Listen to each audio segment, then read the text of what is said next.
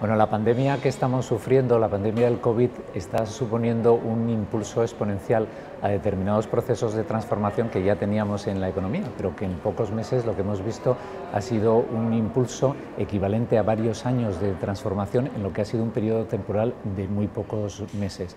Y eso ha sido muy evidente, por ejemplo, en el proceso de digitalización, tanto en la esfera personal de los ciudadanos como en la esfera empresarial. También ha sido muy evidente en la concienciación del tejido empresarial hacia la necesaria sostenibilidad, tanto en el campo ecológico como en el campo social y de la gobernanza, los famosos criterios de ESG de los que ya hablábamos antes de la pandemia, pero que después de la pandemia han, calado de una forma muy intensa.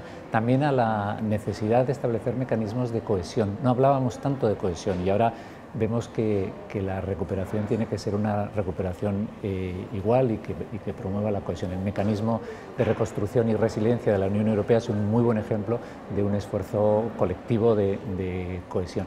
Toda esta transformación tan acelerada lo que nos está dando es la oportunidad de construir una economía competitiva, que compita en el plano internacional y resistente ante futuras situaciones que se producirán con total seguridad de crisis de cualquier naturaleza. Es una transformación no exenta de retos, uno de los retos más importantes es la necesaria cooperación, diálogo y confianza que se tienen que dar entre administraciones públicas, sector empresarial y, sociedad en general. No estamos tan acostumbrados a esa cooperación, será muy necesaria a futuro, pero en definitiva lo será para construir un mundo mejor para las nuevas generaciones.